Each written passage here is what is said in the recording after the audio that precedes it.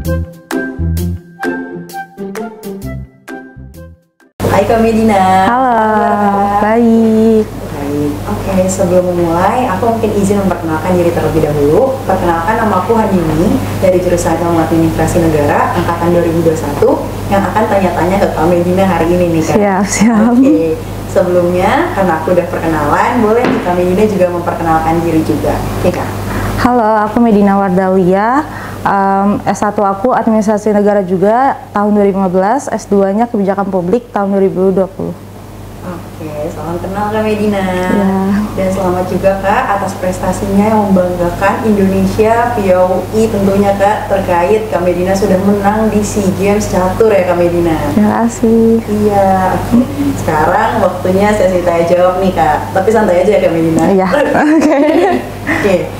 Gimana sih Kak cara Kak Medina bisa terpilih mewakili Indonesia di ajang SEA Games di antara banyak atlet catur Kak? Kak? Um, untuk terpilihnya aku sebagai pelatnas SEA Games sebenarnya karena um, di Indonesia ini yang bergelar Women Grandmaster baru dua yaitu pertama itu Kairen dan kedua aku jadi waktu pas um, ada pemilihan pelatnas SEA Games otomatis aku dan Kairen langsung terpilih juga seperti yang cowoknya juga Kasanto dan um, Navendra juga langsung terpilih sisanya baru nanti ada seleksi teman-teman yang lain baru ada seleksi jadi terpilihnya kenapa di pelatnas karena kalau kita yang sudah Grandmaster dengan gelar tertinggi itu kita nggak ada seleksi, kita langsung lolos seleksi gitu. Karena em, di catur kan gelar tertingginya Grandmaster ya, dan di Indonesia yang baru ada Women Grandmaster itu baru dua. Jadi karena itu juga mungkin eh, menjadi penilaian di percasinya. Keren banget Kak Medina. Ternyata Grandmaster catur di Indonesia tuh ada dua ya Kak? Iya. Ada dua dan termasuk Kak Medina salah Iya, satunya. betul. Tapi sejauh ini ya Kak Medina yang pernah Kakak Med lewatin SEA Games, apa sih tantangan terbesar yang pernah dilewati Kak? Um, selama SEA Games kemarin tantangannya itu ada beberapa kendala seperti um, sempat alergi akhirnya diare waktu SEA Games kemarin tapi alhamdulillah um, tetap bisa fokus dan bisa menyumbangkan medali emas untuk Indonesia walaupun ada kendala-kendala kecil-kecil seperti itu Oke, Alhamdulillah. Alhamdulillah. Oh iya, aku juga mau nanya nih Kak. Kan kakak sekarang sedang S2 ya Kak di POI dan kakak sebagai Grandmaster Catur Indonesia. Lalu gimana sih Kak cara kakak membagi waktu antara kuliah, lomba, dan latihan? Kan seperti yang kita ketahui, kalau lomba itu bakal ada karantina ya Kak. Nah, gimana tuh Kak?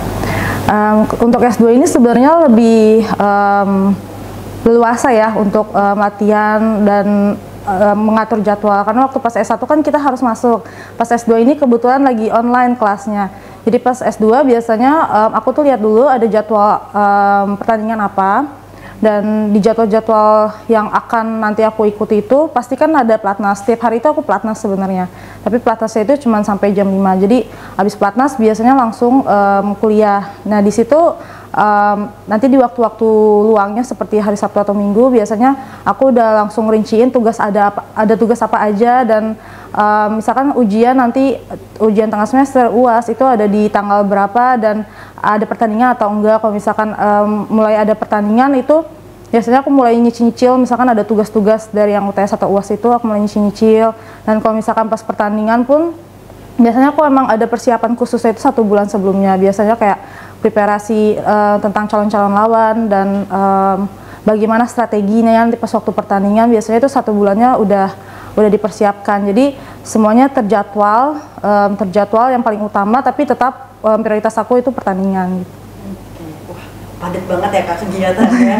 Tapi kak Medina keren banget nih bagi waktu manajemen waktunya.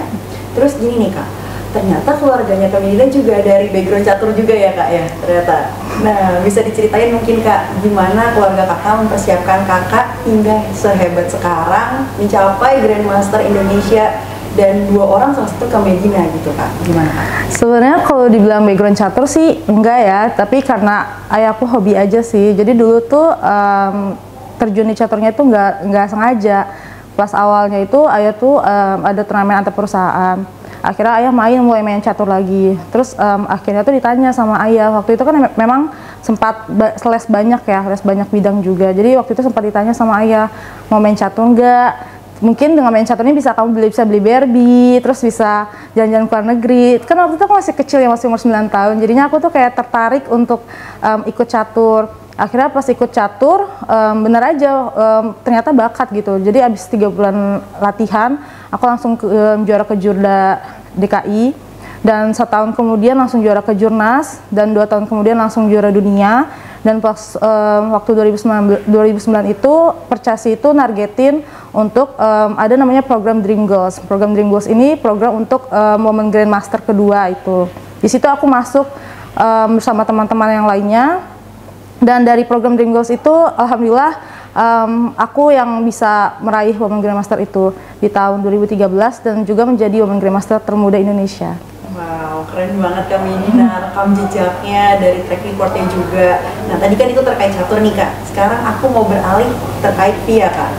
Kenapa Kak Medina mau memilih VIA untuk kuliah bahkan hingga magister Kak? Oke Kak, boleh. Um, awalnya masuk via um, sebenarnya nggak sengaja ya karena teman aku tuh ambil administrasi negara terus um, waktu pas aku um, searching administrasi negara tuh apa sih terus adalah kayak kebijakan publiknya um, seperti itu. Terus menurut aku tuh kebijakan publiknya itu sama aja kayak dicatur. Jadi um, bagaimana kita membuat suatu keputusan dan di sebelum keputusan itu dibuat kita kayak analisis dulu nih dampaknya akan seperti apa.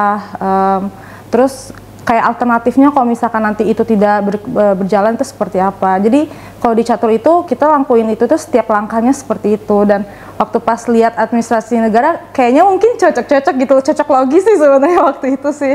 Cocok logis seperti itu. Terus ya udahlah akhirnya kayak masuk ke administrasi negara. Karena aku juga um, tertarik sih di situnya di kebijakan publiknya. Akhirnya alhamdulillah lulus S1 Terus pas S2-nya juga tetap ambil kebijakan publik karena um, aku ingin misalkan nanti aku udah pensiun atlet, mungkin aku tetap bisa berkontribusi di dunia olahraga lewat mungkin um, jadi analis kebijakan olahraga atau seperti itu.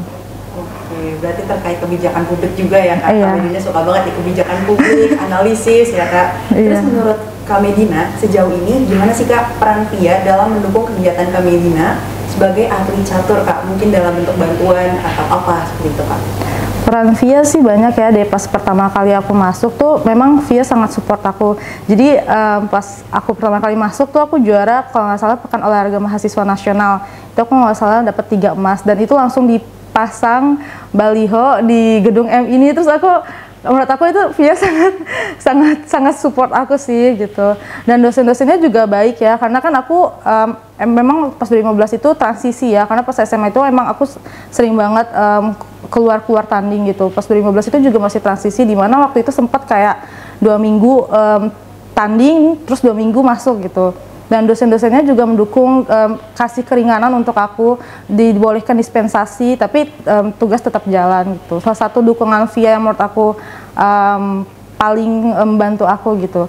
Dengan adanya dispensasi untuk tidak masuk tapi tetap tugas berjalan dan juga em, dukungan lainnya.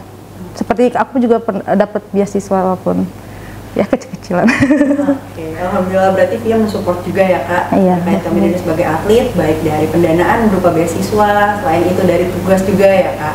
Nah, ini nih kak, bukan pertama kali juga kan Kak Medina menyumbangkan medali emas dan kemenangan-kemenangan lainnya untuk Indonesia. Nah, kira-kira target terdekat Kak Medina saat ini dalam akademik maupun catur apa nih kak kalau boleh tahu? Kalau di akademik em, tentunya em, bisa lulus S2 secepatnya semoga insya Allah em, kalau misalkan di caturnya em, sekarang kan aku gelarnya Women Grandmaster Wanita. Women Grandmaster Wanita kan udah yang paling tertingginya lah di catur untuk wanita. Kalau di putranya aku juga udah ada punya gelar Master Internasional Putra. Jadi sekarang aku lagi mengejar gelar Grandmaster Putra. Keren banget Kak Medina, semoga capaiannya tercapai ya kak Iya. Oke. amin. Nah, kalau target jangka panjangnya ke Medina apa nih kak? Kan tadi target jangka pendek atau yang terdekat gitu kan kak? Ingin menjadi world champion kak? Atau gimana nih kak? Untuk target em, jangka panjangnya di Catur sendiri em, pasti ada cita-cita untuk menjadi juara dunia wanita. Em, tapi itu memang em, panjang perjalanannya panjang karena eh, untuk bisa seperti itu harus konsisten dengan em, latihan dan juga tanding-tanding di luar negeri seperti itu. Em, target aku sih untuk juara dunia wanita, tapi ya semoga itu bisa tercapai karena dibarengin aja dengan target-target jangka pendeknya. Seperti itu.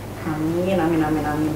Terus nih kak, yang jelas banget kak, pesan dan kesan kakak bagi seluruh mahasiswa atau sivitas akademik Divia apa nih kak kalau boleh tahu? Um, kesan dan pesannya um, kalau kalian punya sesuatu impian kejarlah impian tersebut tetap usaha dan juga dibarengi doa. Yakin pokoknya yakinlah kalau misalkan kita usaha dan juga doa pasti nanti akan diberikan jalannya sama Allah. Luar biasa banget Kak Medina. Terima kasih Kasih. banyak Kak Medina Terima kasih. atas kesempatan waktunya atas sesi wawancara ini. Oke terima kasih Kak Medina. Terima kasih